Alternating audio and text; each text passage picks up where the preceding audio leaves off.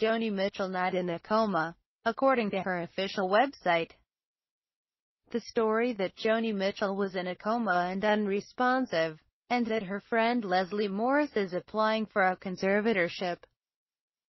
The story was widely reported, including by us.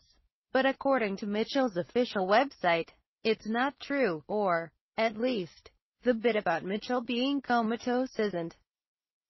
A few minutes ago, the site published the following statement. Contrary to rumors circulating on the internet today, Joni is not in a coma. Joni is still in the hospital, but she comprehends. She's alert. And she has her full senses. A full recovery is expected. The document obtained by a certain media outlet simply gives her longtime friend Leslie Morris the authority, in the absence of 24-hour doctor care, to make care decisions for Joni once she leaves the hospital. As we all know, Joni is a strong-willed woman, and is nowhere near giving up the fight.